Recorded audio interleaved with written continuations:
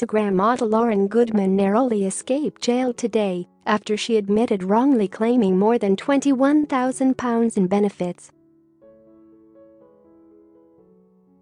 Goodman, 28, who had other forms of income, claimed housing benefit and income support after providing misleading financial details. The sister of Ex on the Beach star Chloe Goodman who supported her in court wept in the dock as she was told the custodial threshold for the crimes had been passed and she could go to jail. But she was spared a prison sentence after the judge heard she had suffered from depression and was genuinely remorseful, having paid back the figure in full ahead of her appearance The judge handed Lauryn a seven-month jail sentence suspended for two years and ordered her to carry out 200 hours of unpaid work as well as pay £670 costs. Hove Crown Court was told the 28-year-old, who describes herself as a social media influencer, had lied when she had filled in application forms for income support and housing benefit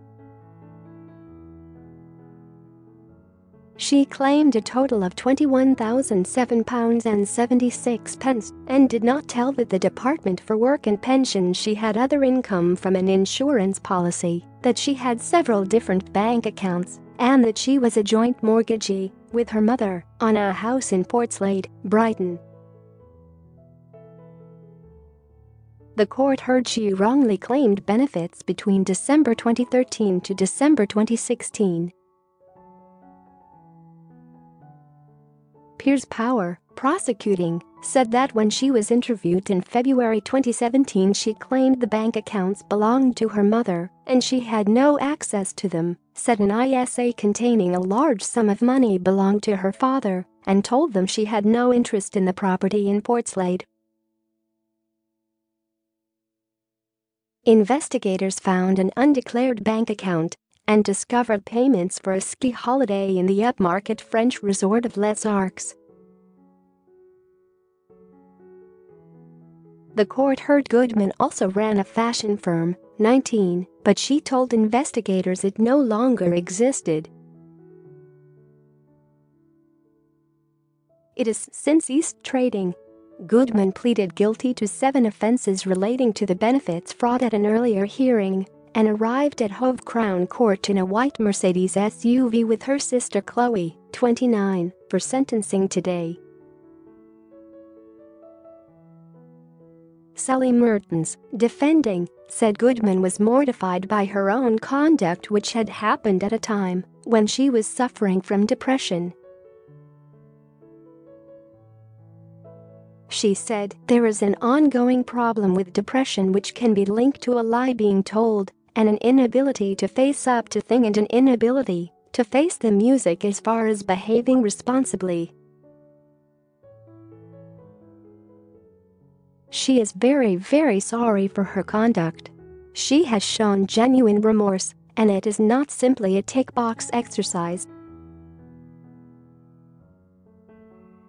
She has lost her good character for someone who is well educated and comes from a family that has had a lot of opportunities, the loss of that good character is significant. The court also heard Goodman was on a phased return to work at HSBC and that they had stood by her during this case Judge David Rennie handed Goodman a seven-month jail sentence suspended for two years and warned her that any future breach in the law would undoubtedly land her behind bars. He said, this did go on for some while but essentially it was out of character.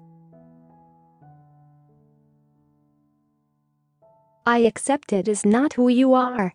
You made some catastrophically bad decisions, but that does not excuse what essentially was stealing.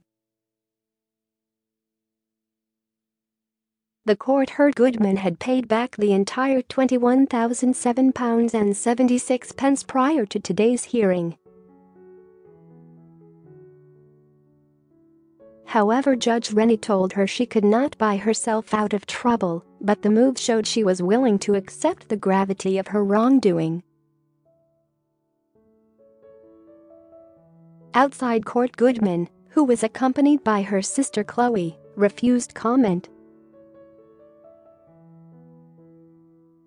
Read more showbiz editors picks